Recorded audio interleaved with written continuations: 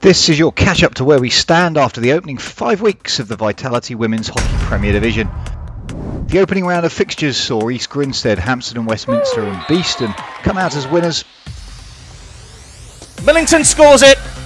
whilst there were draws in the matches between Clifton Robinsons and Surbiton and between Swansea and Buckingham.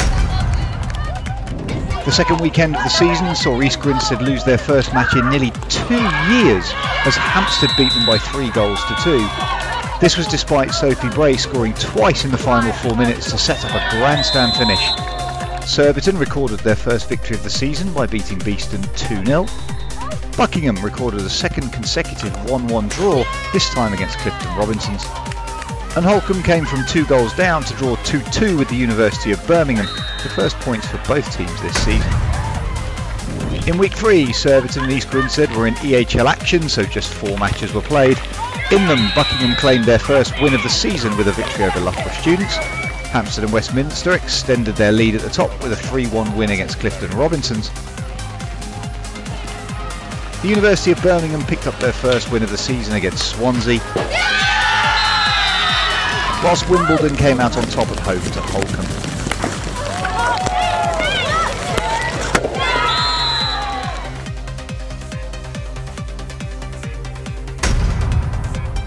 The following week saw a full complement of fixtures and a goal from Lucy Hyams continuing Hampstead and Westminster's 100% start to the season. East Grinstead moved up to second in the table after a 2-1 win over Beeston. It is Palmer.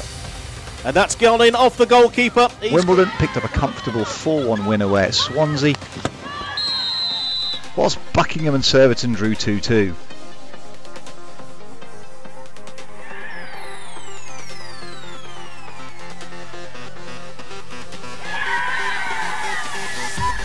In the final match of the weekend, a last minute equaliser saw Clifton Robinsons deny Holcombe their first win of the season. In week five, Eliza Brett scored a hat trick as Wimbledon moved up to second in the Vitality Women's Premier Division with a big victory over Beeston. League leaders Hampstead and Westminster emerged 4-3 victors in a thriller against Buckingham.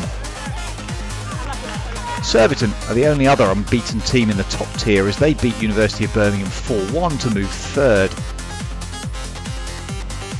Loughborough students claim their first three points of the season with a narrow 1-0 win over Holcombe, moving above them in the table in the process. And Clifton Robinsons also travelled home from Swansea with their first win of the 2021-22 season as they beat Swansea 2-1. After all this, Hampstead and Westminster have a six-point lead at the top over Wimbledon, with Surbiton close behind. At the bottom, Swansea just have a single point with Holcombe above them on two.